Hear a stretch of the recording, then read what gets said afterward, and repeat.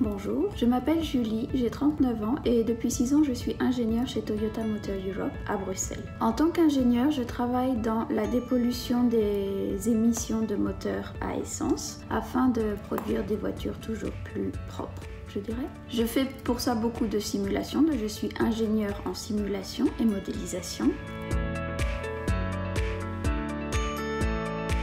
Les éléments principaux de mon rôle en tant qu'ingénieur chez Toyota Motor Europe, je dirais, sont un esprit d'innovation, premièrement, parce que nous avons toujours besoin d'avoir des nouvelles idées, des nouvelles approches, aussi de trouver euh, des nouvelles solutions à apporter, en l'occurrence aux voitures. Et ceci est très important d'être ouvert d'esprit afin de pouvoir avoir des idées innovatrices et aussi d'arriver à pousser les gens à utiliser la simulation, ce qui n'est pas toujours évident. Un deuxième point important est l'esprit d'équipe. Donc chez Toyota Motor Europe, nous travaillons en équipe et pour ceci, l'équipe a pour moi deux gros avantages. Le premier avantage, c'est que chaque expert va pouvoir apporter son expertise aux autres membres de l'équipe afin qu'à la fin, on ait une image commune et qu'on puisse avoir des projets qui fonctionnent très bien. Ceci me permet aussi à moi personnellement d'apprendre énormément de choses de la part de mes collègues experts dans d'autres domaines que le mien. L'autre avantage du teamwork et qui est aussi très intéressant je pense pour les ingénieurs, c'est qu'on fait ce qu'on appelle du coaching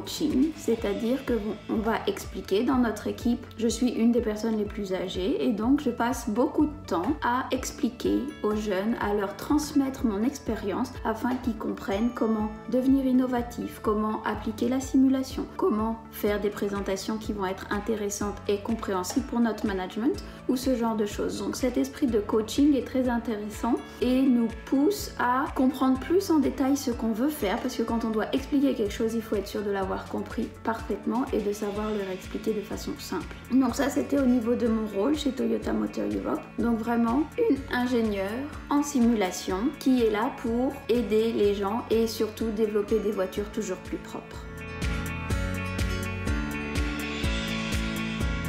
Ce n'est pas du tout mon cas. Euh, c'est pour ça que j'ai commencé il n'y a que 6 ans chez Toyota Motor Europe. Moi, à la base, quand j'étais adolescente, ce que je voulais faire, c'était capitaine de bateau, de marine marchande. Donc, vous savez, ces grands bateaux qu'on voit euh, sur les mers. Et mon rêve, c'était de devenir capitaine de bateau. J'ai passé des entretiens pour rentrer dans une école spécialisée à Marseille. Et puis finalement, quand j'ai eu 18 ans, je me suis dit que au niveau familial, ben, peut-être un jour j'aurais envie d'une famille, j'aurais envie d'avoir des enfants, j'aurais envie d'avoir une vie stable et que peut-être ben, capitaine de bateau, c'était pas le mieux qu'on puisse faire pour ça. Donc j'ai changé d'avis et j'ai fait une fac à Lyon, une fac de sciences. Après ma fac de sciences, j'ai fait un doctorat en mécanique des fluides. Donc là, j'ai étudié l'évolution des rivières et du transport de cailloux dans les rivières. Donc vraiment quelque chose de très environnemental et expérimental. Donc l'idée c'était de savoir, ok, s'il y a une rivière qui passe dans tel village, où est-ce qu'il faut mettre un pont, où est-ce qu'il faut mettre un banc de sable par exemple pour éviter qu'il y ait une inondation dans le village. J'ai fait ça par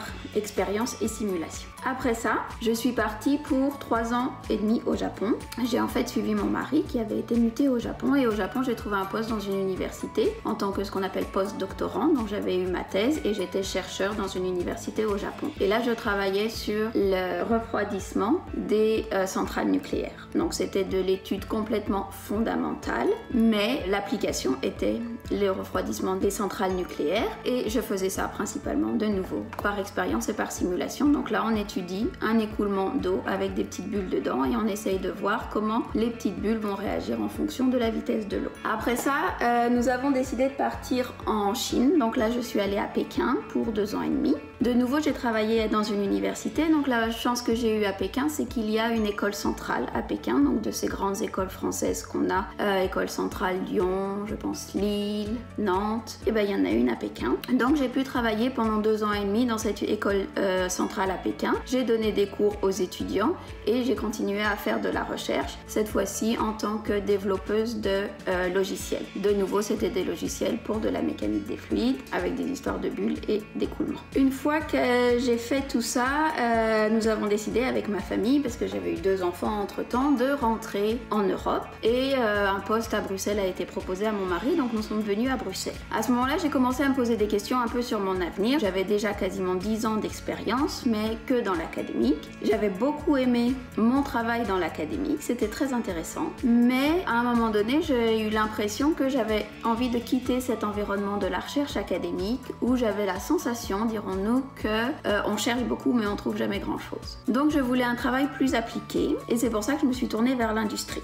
Le virage n'a pas été très facile parce qu'avec mon expérience académique, les industriels ne m'ouvraient pas obligatoirement leurs portes, mais au bout de quelques mois, j'ai été embauchée chez Toyota Motor Europe, ce qui leur a plu. Pourquoi j'ai eu ce poste? Ce n'est pas mon expérience en tant qu'ingénieur automotif parce que je n'avais jamais eu d'expérience ni dans l'automobile ni en tant qu'ingénieur, mais c'est mon approche simulation. Ils avaient besoin d'une personne qui, on va dire, pense, simulation, et ma polyvalence. J'avais étudié tellement de différents domaines qu'ils se sont dit, bon, normalement, elle devrait savoir s'adapter. C'était un challenge pour eux et pour moi, mais a priori ça a marché. Donc depuis 6 ans maintenant, je suis ingénieur dans l'équipe Model Based Design Powertrain chez Toyota Motor Europe. Donc comme vous le voyez, on peut avoir un parcours très large pour arriver à un métier qui nous plaît. J'ai aimé toutes les étapes de mon parcours, mais là, bon, c'est l'endroit où je reste le plus longtemps, donc je pense que c'est l'endroit qui me convient le mieux.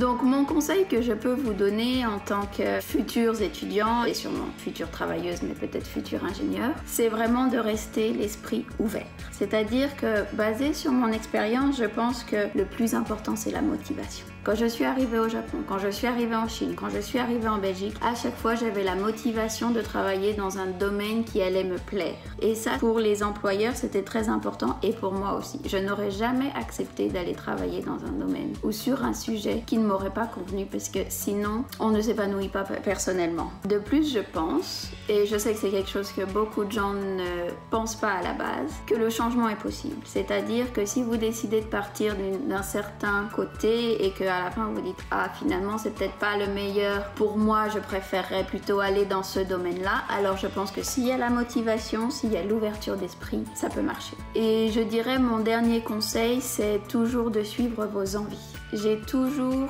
évolué en fonction de ce que je découvrais. D'abord au lycée par des cours de mécanique, ensuite à la faculté par des cours de mécanique, des cours de mécanique des fluides, des professeurs très très intéressants et maintenant dans l'industrie par mes contacts avec mes collègues ou par des gens en dehors de Toyota Motor Europe mais qui travaillent aussi dans le domaine de l'automotive par exemple. Donc vraiment se laisser ouvert à découvrir des choses et aller vers ce qui nous plaît. C'est ça le plus important afin d'arriver vers quelque chose qui va vraiment nous motiver et nous faire plaisir dans la vie. Et surtout, même si autour de vous, les gens ne connaissent pas ce genre de métier. Mes parents n'ont jamais fait de mécanique, n'ont jamais fait de recherche, n'ont jamais fait d'études du tout. Il faut qu'ils restent ouverts à ça et si vous avez envie, il faut pousser vers ça.